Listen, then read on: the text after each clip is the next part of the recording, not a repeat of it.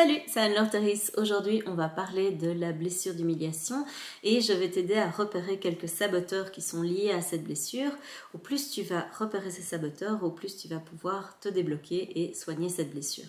Alors,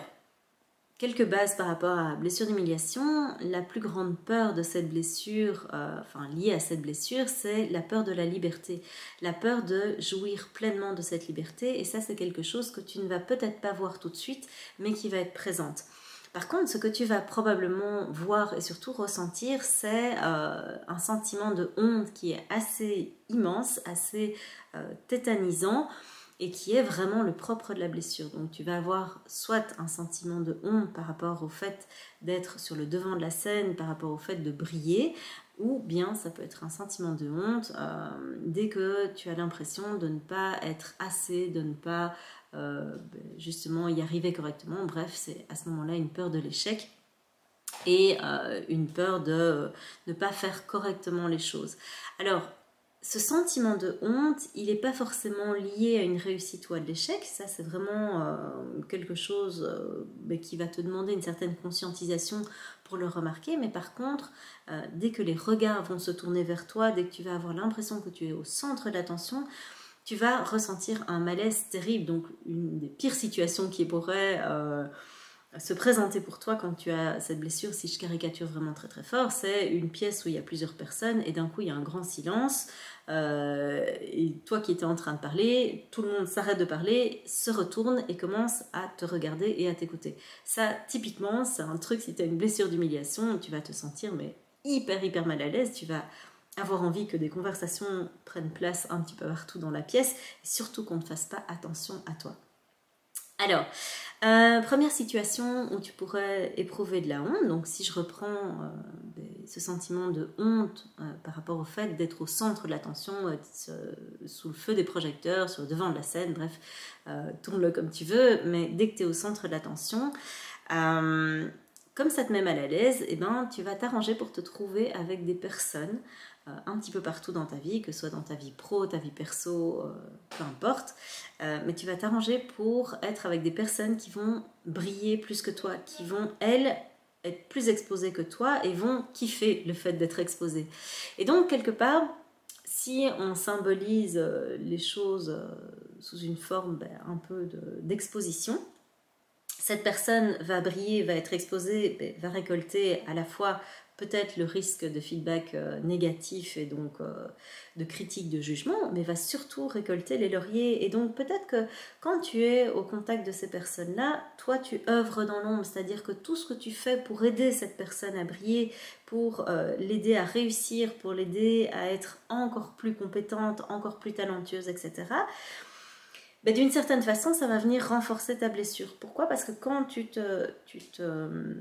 mets en contrebas de la relation comme ça, en te disant qu'elle est plus talentueuse, qu'elle est plus capable, et donc qu'elle a raison d'être devant la scène parce que toi, tu ne mérites pas d'y être, ça pourrait être des pensées que tu as à ton sujet ou au sujet de l'autre personne bien en fait ce mécanisme sabotage qui fait que tu vas toujours t'associer avec des personnes euh, qui te semblent entre guillemets plus brillantes que toi va venir renforcer cette blessure parce que le fait d'être tout le temps en contact de ces personnes, de ne pas toi oser t'exposer au regard des autres, ben, va faire que tu vas en permanence avoir une image de toi qui va être euh, un peu ternie. Tu vas avoir l'impression de ne pas être à la hauteur, de ne pas être aussi bon que cette personne et donc ça renforce vraiment la blessure. Donc ça c'est le premier saboteur que tu peux voir, c'est euh, par qui es-tu entouré, euh, qui sont les personnes qui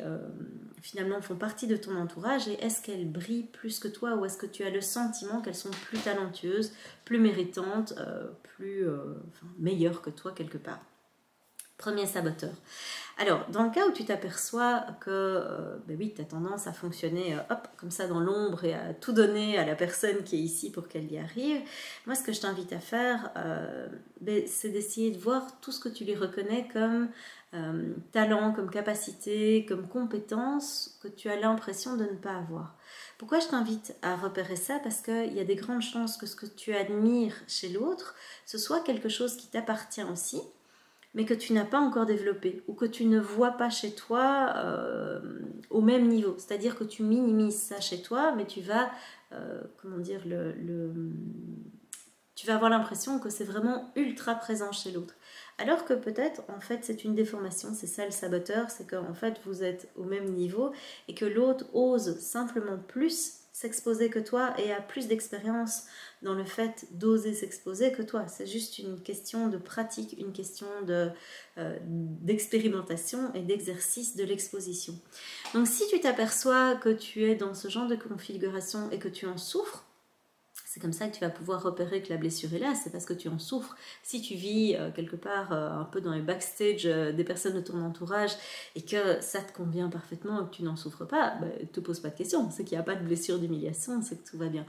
Si tu en souffres, ce que je t'invite à te faire, donc c'est de pouvoir repérer ça et aussi de pouvoir tout doucement oser apparaître de plus en plus. Alors au début, on est bien d'accord que ça va te mettre mal à l'aise, euh, que tu vas euh, suer des grosses gouttes en disant oh mon Dieu, ça y est, tout le monde me regarde, c'est l'enfer, euh, je ne sais pas quoi faire de tous ces regards. Dis-toi simplement que si les gens te regardent, c'est pas forcément pour te juger, te critiquer ou avoir une mauvaise image de toi. C'est simplement parce qu'ils sont curieux, probablement, de ce que tu vas dire. Ils vont être curieux de te voir apparaître, toi qui n'apparais pas très souvent. Et donc, prends ça comme quelque part euh, la chance pour toi d'oser montrer une facette de toi que tu n'as pas trop l'habitude de montrer.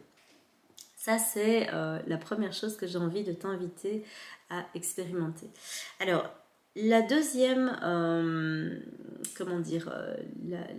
deuxième partie où tu pourrais voir apparaître cette blessure d'humiliation, c'est la honte de ne pas savoir quoi faire de toute ta liberté. C'est-à-dire qu'il y a des chances que si cette blessure fasse, fait partie si cette blessure fait partie. bref, si cette blessure euh, fait partie de ta vie depuis un moment, il y a pas mal de chances que euh, tu aies vécu une vie de contrainte. C'est-à-dire que euh, le saboteur, à ce moment-là, s'arrange pour que tu ne sois jamais libre, que tu ne puisses jamais ou rarement profiter de toute l'abondance de temps, d'énergie, de ressourcement, de plaisir dont tu pourrais jouir dans ta vie. Et donc, très concrètement, tu vas pouvoir voir apparaître ça parce que tu as toujours un agenda surchargé, beaucoup trop chargé pour prendre du temps pour toi, pour te ressourcer, pour euh, simplement profiter de la vie ou profiter euh, du temps avec les gens que tu aimes. Tu es tout le temps, tout le temps, tout le temps dans une vie remplie de contraintes. Donc si tu t'aperçois qu'en fait tu souffres du fait qu'il n'y euh, a jamais le temps de rien ou tu es, toujours dans la contrainte dans ta vie, tu peux te dire qu'il y a une blessure d'humiliation qui est là avec un saboteur qui t'empêche de profiter de ta liberté. Alors, L'idée, c'est que tu puisses prendre conscience, et ça c'est la première piste euh, que je t'invite à, explorer, c'est euh, d'aller voir tous les endroits où tu n'es pas libre et pourquoi est-ce que tu n'es pas libre dans ta vie. Qu'est-ce qui, fait qu'à un moment, tu as tellement de contraintes? Alors il y a toute une série de contraintes où voilà... Euh, peut-être que tu as un travail prenant, mais tu vas voir que tu as une vie de famille, tu as des logistiques, on est bien d'accord, mais en fait, euh, regarde tous les endroits où, si tu le voulais, tu pourrais éviter de charger euh, autant en fait ta vie et que tu pourrais éviter de charger ton planning à ce point-là. Quand tu as fini de faire les tâches que tu as prévues dans ton agenda, admettons, euh, ben, c'est vraiment, j'accompagne des entrepreneurs et c'est vraiment un truc qui a été mis en lumière ben, ces dernières semaines. On a discuté avec plusieurs d'entre eux. L'idée, c'est que quand tu es entrepreneur, en particulier quand tu es entrepreneur euh, du web, il y a plein, plein, plein de tâches dans lesquelles tu peux t'engager, dans lesquelles euh, tu peux vivre un espèce d'état de flow. Alors, l'état de flow, c'est quoi? C'est cet état où tu vas être euh, complètement passionné par ce que tu fais, tu vas être dans la créativité, tu vas te sentir porté par euh, par la passion pour euh, ce que tu es en train de produire, ce que tu es en train de créer. Bref, tu sais ce que tu dois faire, tu sais comment le faire, tu es complètement emballé par ce que tu fais et tu vas voir qu'à ce moment-là, euh, la notion de temps disparaît, la notion de fatigue va disparaître et tu peux très très très, facilement t'épuiser, tu peux très facilement, facilement entrer dans un état de fatigue sans t'en apercevoir. Donc le flow, c'est bien, mais, c'est important d'être vraiment connecté à tes besoins pour ne pas t'épuiser derrière, parce que sinon tu vas complètement cramer ton énergie et euh, bah, tu, vas, finir euh, dans un état d'épuisement. Et en fait, ce qui apparaissait chez ces personnes, c'est que on, était en train de regarder, puisque je les accompagne, pour créer leur propre programme en ligne, comme ben, moi j'ai fait pour, euh, pour, mon programme ici, programme Reconnexion, euh, dont tu as peut-être déjà entendu parler dans les autres vidéos de ma chaîne. Si ce n'est pas le cas, va regarder dans le descriptif, tu vas voir un descriptif de ce programme-là. Bref, l'idée c'est qu'il il y avait plein de tâches et que ben, ces personnes se fixaient des tâches pendant la journée et quand elles avaient fini ces tâches, elles se disaient Ah, ben cool, j'ai du temps. Eh ben, je vais rajouter encore euh, ça, ça, ça, c'est génial, j'ai du temps et donc je vais rajouter du travail. Et donc à ce moment-là, terminer leur journée à la place de la terminer vers, je sais pas moi, 16h, 17h, me disait, ben moi j'ai terminé ma journée, je suis crevée, il est 20h, euh, 21h et j'ai travaillé toute la journée. Et quand on revenait à ce 16h, 17h où c'était terminé, où je leur demandais, mais mais qu'est-ce qui s'est passé? Pourquoi, pourquoi, pourquoi tu t'es pas arrêté là? Pourquoi t'as pas pris ce temps pour toi comme un cadeau, comme une opportunité de pouvoir faire Hé, trop cool, en fait, j'ai terminé, mais bien avant ce que je pensais, et donc je peux profiter du temps que j'ai pour moi, je peux me ressourcer, je peux, je peux fêter ça, je peux dire euh, aujourd'hui je me fais plaisir et je m'arrête plus tôt. Ben, en fait, la réponse était ben, parce que j'ai du temps et donc je peux le remplir, je peux rajouter encore un petit peu plus de choses à faire, comme ça c'est fait. Et tu vois que quand il y a ce type de réflexion qui est derrière, euh, il n'y a, a même pas la conscience de je suis en train de me priver de liberté quand je fais ça, je suis en train de ne pas profiter de l'abondance de temps, de ressourcement que j'ai, je, sans réfléchir, je vais juste remplir avec des contraintes. Et ça, c'est vraiment quelque chose euh, ben qui illustre parfaitement euh, ce fait d'avoir ce saboteur qui te prive de liberté. Donc, euh, moi, ce que je t'invite à faire, si tu t'aperçois que tu as tendance à surcharger ton planning, repère tous les endroits où tu le surcharges, demande-toi comment tu pourrais ben, te permettre justement d'avoir un peu plus de liberté, comment est-ce que tu pourrais faire pour, pour te créer de la liberté. Et surtout, parce que si tu ne prépares pas cette troisième étape, tu vas voir que le saboteur va réapparaître très vite et va remplir ton planning avec de la logistique. Prépare à l'avance une liste de tout ce que tu pourrais faire si tu avais plus de temps libre dans ta vie. Qu'est-ce qui te ferait complètement kiffer? Qu'est-ce qui te ferait plaisir? Pas qu'est-ce que tu pourrais faire pour euh, te délester de toutes les contraintes que tu as dans ta vie euh, et donc te rajouter plus de contraintes, mais qu'est-ce qui te ferait vraiment plaisir si tu avais, euh, je sais pas moi, budget illimité, temps illimité, euh, que tu n'avais pas de contraintes d'aucune sorte, qu'est-ce que tu ferais de cette liberté? Donc ça, c'est vraiment quelque chose que je t'invite à aller euh, visiter parce que tu vas voir que au plus tu vas ben, lister toutes les choses qui te feraient plaisir, au plus ben, cette peur de la liberté, elle va être moins intense puisque tu vas savoir quoi en faire. La peur de la liberté, elle va augmenter de manière complètement exponentielle à partir du moment où tu vas te retrouver face à une liberté complète, c'est-à-dire euh, une abondance de, euh, temps, d'énergie, euh, de, voilà, de, capacité de te ressourcer et que tu ne sais pas quoi en faire. Donc ça, c'est vraiment la pire configuration dans le cas où tu, tu as une blessure d'humiliation, c'est liberté illimitée et te retrouver face à, la peur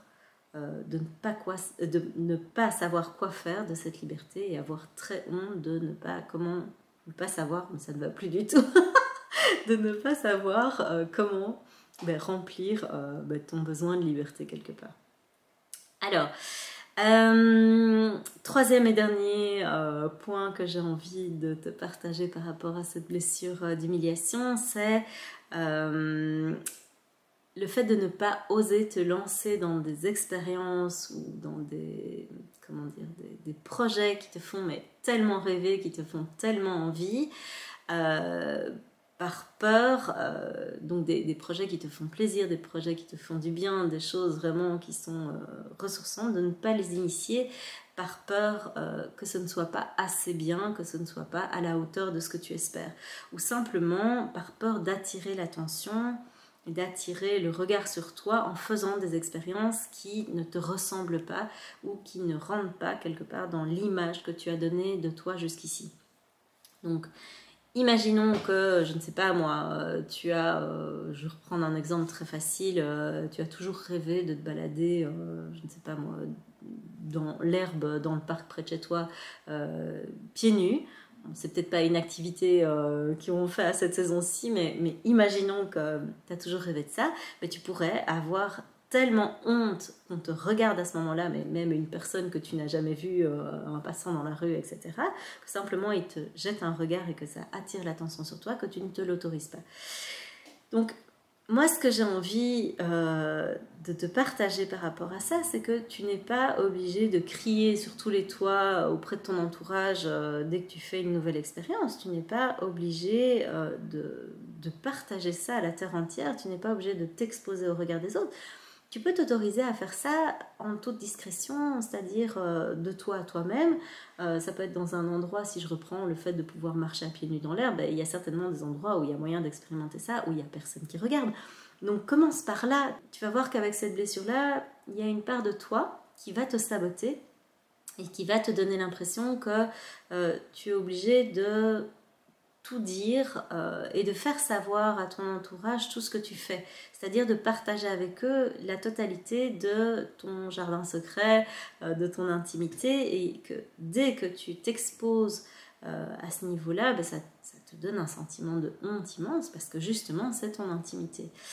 moi ce que j'ai envie de te dire par rapport à ça, c'est que tu peux aimer très très fort quelqu'un, mais tu ne lui dois rien. C'est pas parce que tu aimes la personne que tu dois tout partager avec elle. Tu peux aussi respecter ton rythme et donc euh, bah, je t'invite à aller voir la, vidéo sur euh, ton rythme intérieur. Tu as peut-être un rythme intérieur qui est le suivant, qui est d'abord j'expérimente des choses de moi moi-même, je vois ce que ça fait, je vois si j'aime cette expérience. Si j'aime cette expérience, je peux peut-être la reproduire plusieurs fois pour me familiariser avec cette expérience. Si je m'aperçois que c'est quelque chose que j'ai envie d'assumer, que c'est quelque chose que j'ai envie de vivre euh, ben, en toute liberté quelque part, alors je peux tout doucement commencer à m'exposer par rapport à des personnes en qui j'ai confiance, par rapport euh, à des personnes qui ne vont pas me juger, qui ne vont pas me critiquer. Laisse-toi la possibilité d'y aller à ton rythme et de ne pas t'exposer comme ça, euh, d'un coup, euh, par rapport à, toutes les personnes de ton entourage. Tu n'es pas obligé de parler de toutes les expériences ou de tous les tests que tu es en train de faire dans ta vie. Donc, vraiment, prendre conscience que ce saboteur, il va t'inviter à en dire trop de toi, en dire,